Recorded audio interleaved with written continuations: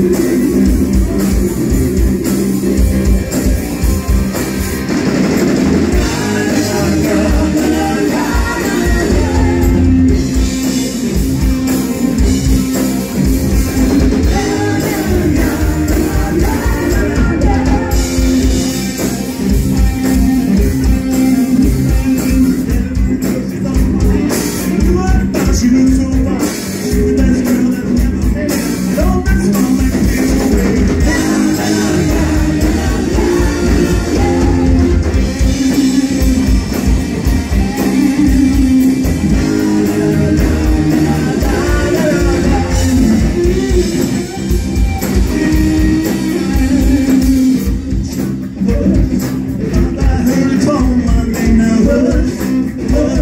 She broke my heart, but love is a now.